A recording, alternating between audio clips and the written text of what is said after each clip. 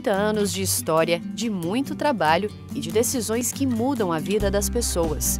No primeiro ano de funcionamento, em 1989, o Superior Tribunal de Justiça julgou 3.700 processos.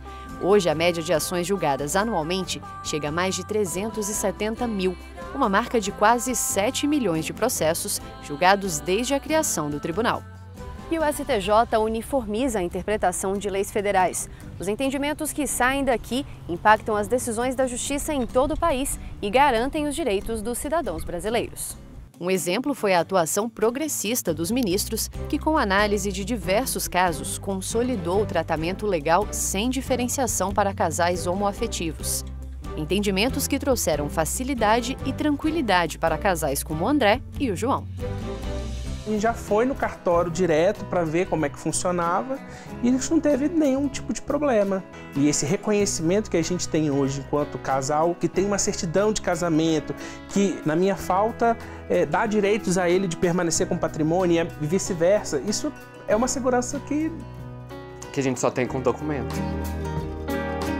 E foi isso, né? Foi o reconhecimento de nós dois como cidadãos brasileiros que pagam seus impostos, que nasceram nesse país e que têm todos os direitos de pessoas que vivem aqui. Para também garantir qualidade de vida, a segunda turma do STJ debateu um caso inédito em 2018. Os ministros autorizaram a importação direta de canabidiol, um produto derivado da cannabis sativa, para tratamento de epilepsia refratária de uma criança em Pernambuco. Com essa decisão, outras pessoas que também precisaram desse tipo de tratamento passaram a ter melhoras significativas, assim como a Anne. Na nona semana que ela estava tomando canabidiol, ela conseguiu passar a semana inteirinha sem crise. E isso, assim, para a gente era um fato inédito. A gente vivia quase que um luto diário, esperando quando é que seria a última crise que ela teria. Depois do canabidiol, assim, a vida dela mudou completamente, a qualidade de vida dela é, é, transformou-se em outra, e não só da Anne, a família inteira.